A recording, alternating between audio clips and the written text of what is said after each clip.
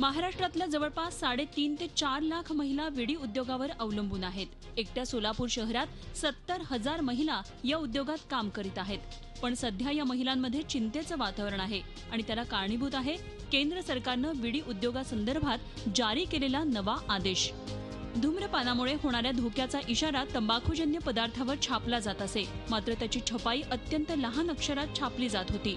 मात्र आता नव्या नियमानुसार विडी कट्ट्याच्या पंच्याऐंशी टक्के भागावर ठसठशीतपणे दिसेल असा धोक्याचा इशारा छापावा लागणार आहे. शासनाच्या या अटींच्या विरोधात विडी कारखानदारांनी सर्वोच्च न्यायालयात धाव घेतली होती मात्र न्यायालयानं ती याचिका फेटाळून लावली. पंधरा दहा चौदाला जे नोटिफिकेशन आणलेलं आहे त्याची अंमलबजावणी तंबाखू उद्योगाने कडकपणे केलीच पाहिजे असे सुप्रीम कोर्टाने काल निर्णय दिला आहे हा निर्णय अत्यंत दुःखा दुःखदायक आणि धक्कादायक आहे.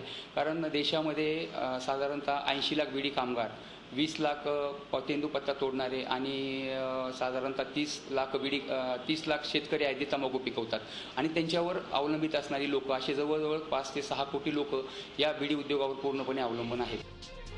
जागतिक आरोग्य संघटनेच्या दबावामुळे केंद्र सरकारनं हा निर्णय घेतला असला तरी यामागचं वास्तव काही वेगळं असल्याचा दावा विडी उद्योगाकडून केला जात आहे.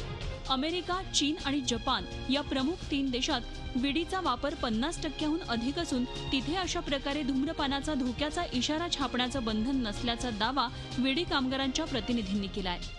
सरकार डब्ल्यू टी डब्ल्यू एच ओच्या प्रेशरमध्ये हा निर्णय करते.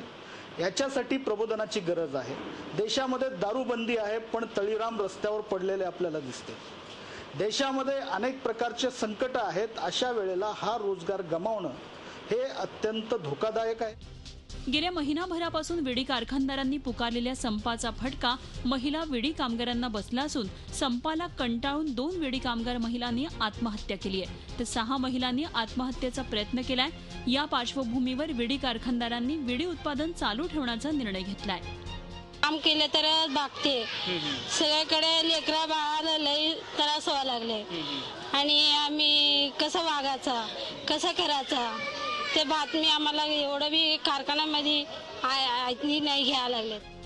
विडी कारखानदारांची याचिका कोर्टानं फेटाळल्यामुळे विडी उद्योग आणि पर्यायानं विडी कामगार महिलांच्या रोजगाराचा प्रश्न निर्माण झाला असून विडी कामगार महिला आता हवालदिल झाल्या आहेत. Sanjay पवारसह bureau report Zee media Solapur.